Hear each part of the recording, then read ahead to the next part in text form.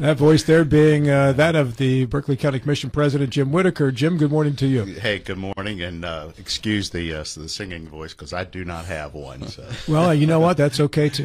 uh, that's good. Thank right. you. Uh, condolences to you on the passing of your father. I think you mentioned you had an aunt that. Uh, yeah, his older sister passed ten days before he did, and um, but yep, uh, Katie Fry was her name. So my condolence, well, to the to the my cousins and also to Tony Petrucci and the loss of his father recently. So it has been uh, an a, a overwhelming week of some emotions. That's Sure. for sure. So, but thank you. Absolutely. Did you want to say a word about your dad, Jim? If, if it's up to you. Uh, you know, uh, lifelong resident of Berkeley County. Uh, he he actually was born in Gainesboro, West Virginia, in a house that still borders his home place up there. Uh, and, and May the eighth, nineteen thirty, and it's kind of a an ironic story that the doctor came to the house to deliver him, and charged thirty five dollars for a delivery.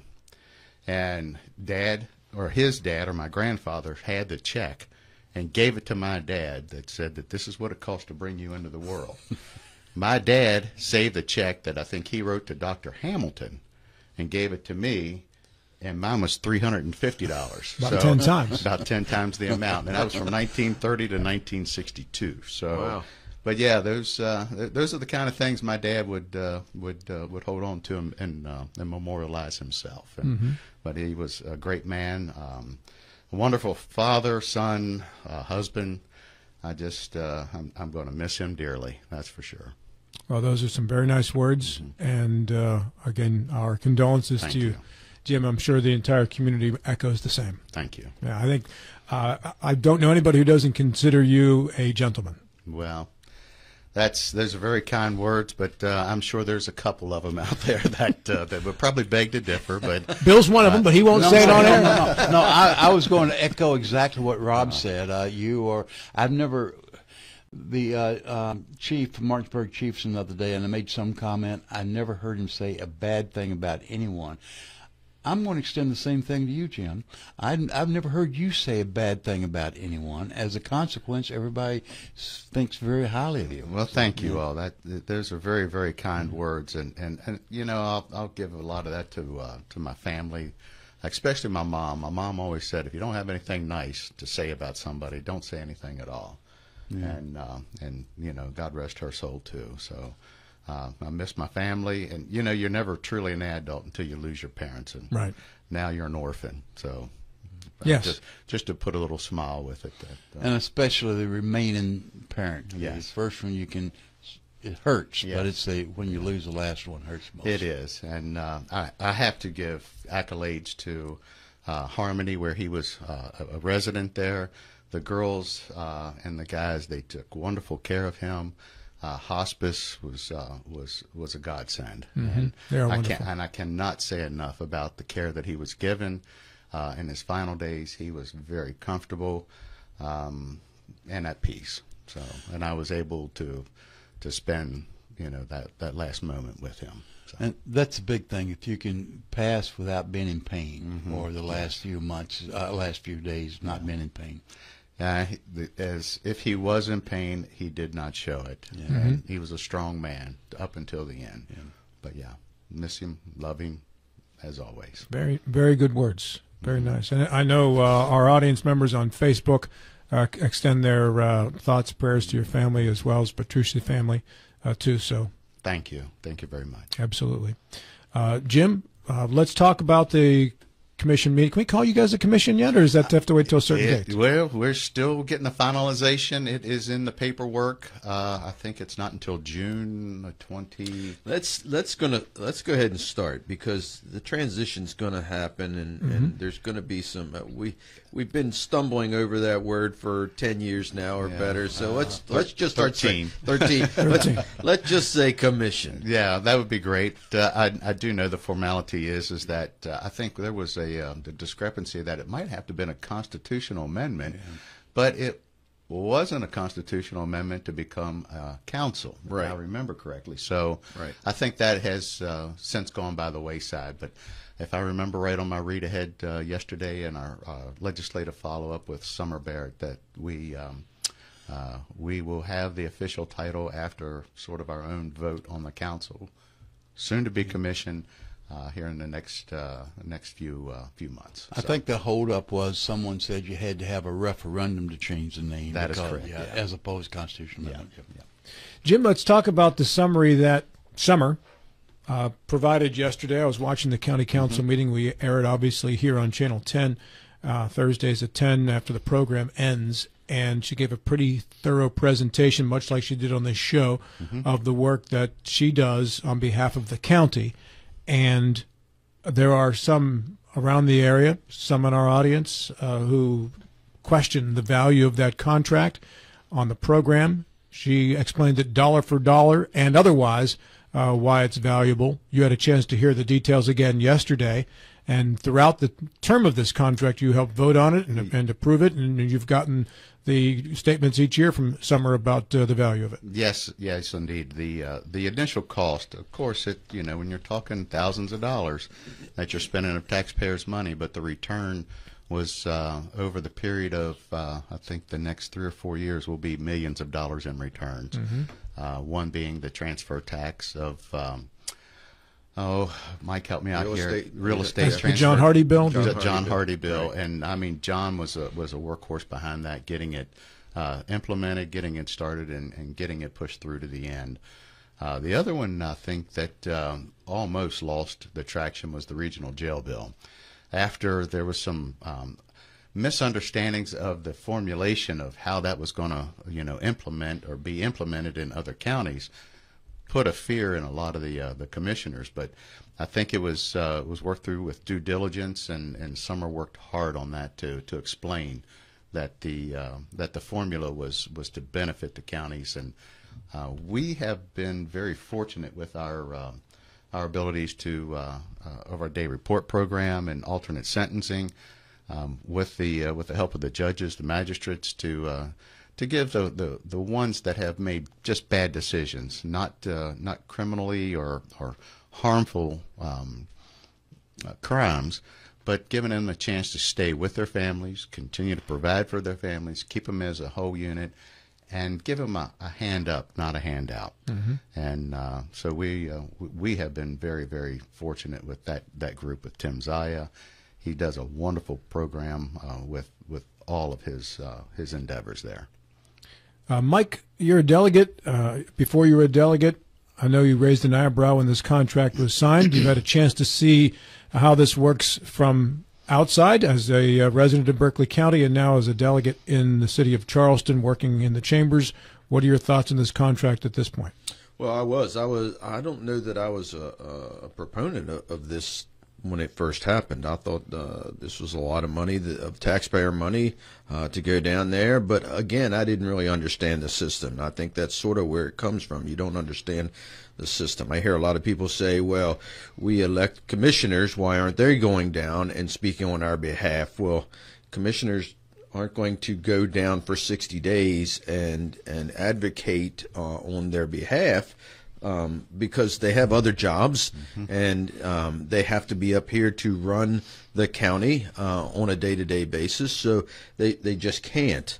Um, and then you have to decide, well, what's your return on investment? You know, if you're spending that kind of money, are you getting a return? And are you getting a return that you would not have gotten uh, anyway?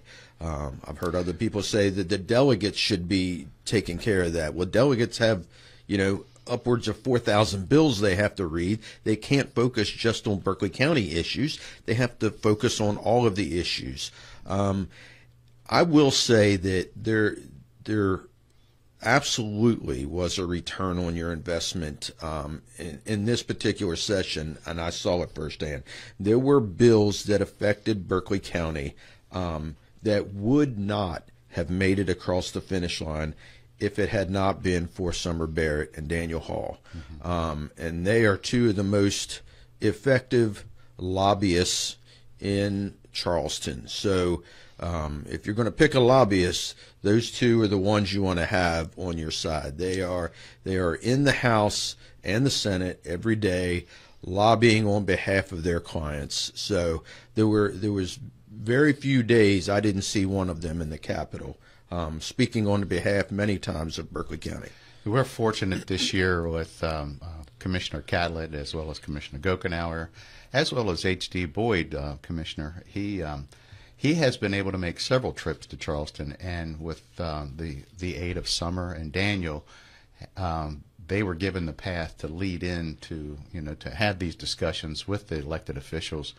So you know with that um, that avenue that we had or, or that contact we have in Charleston, really got the uh, the voices heard from the Eastern Panhandle.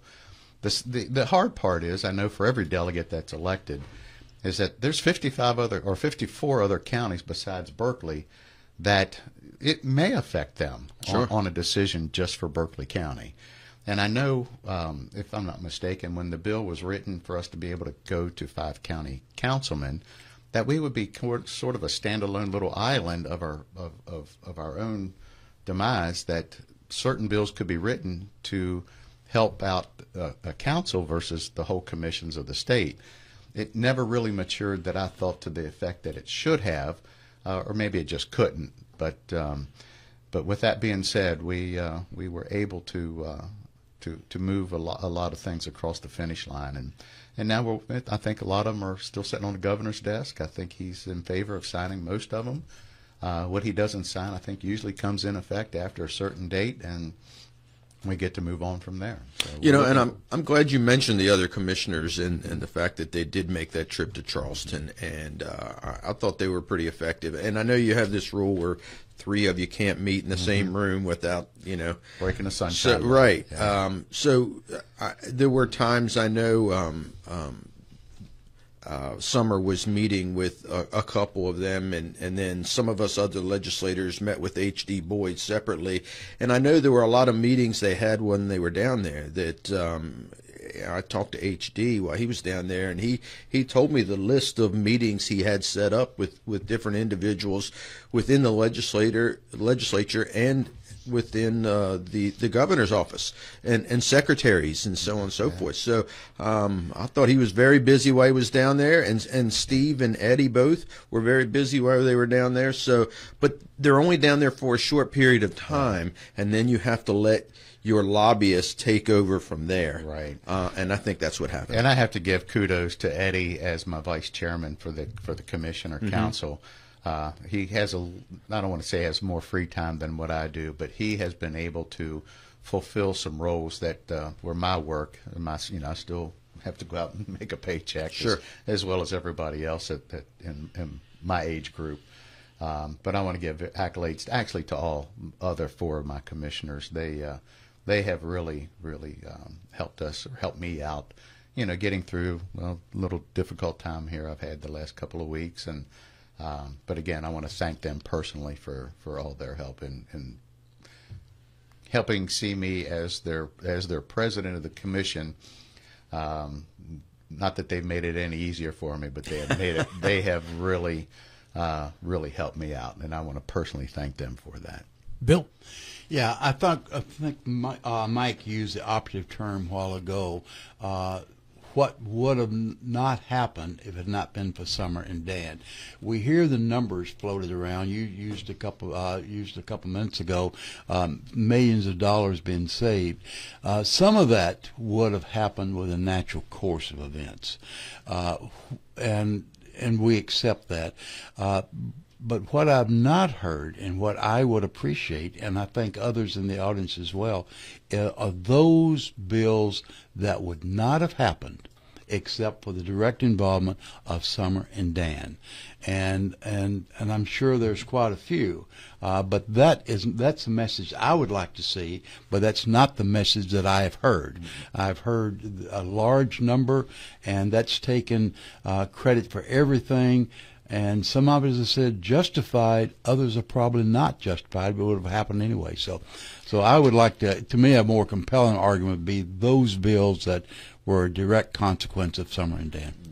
Uh, one of them, I would say, the, the consequence of, of it happening was the regional jail bill Okay. because that one, if I remember right in the read ahead from Summer, which he presented to us, there would have been an additional cost of over five hundred and forty-four thousand dollars, um, I think, in Berkeley County alone to the regional jail cost. So We so- have, we have, as well as you know, Bill, yeah. we have really worked hard Yeah. to to diminish as much as we can of that bill. And then there's some regional jails that that haven't even been able to make their payment. Yeah, and others have not worked as hard as we have as well. We were not the first to do the uh, uh, the uh, the alternatives, but we got on board fairly early. Yes, we did, And So good. You know, it's funny. I'll tell a little story real quick. That there was, uh, and I think it may have been the regional jail bill. That there was, you know, because you have relationships with different people. Um, there were times I was texting lobbyists and stuff to, within the House, and I, I'm pretty sure it was the regional jail bill that it went through the House and it, it didn't pass. And I just, and we're we're late in the session, and I just texted Summer. I said it, it's dead, didn't make it. And she texted back, "Nothing's dead until sine die." And next thing you know, it's coming back from the Senate, It- it and it's got new life.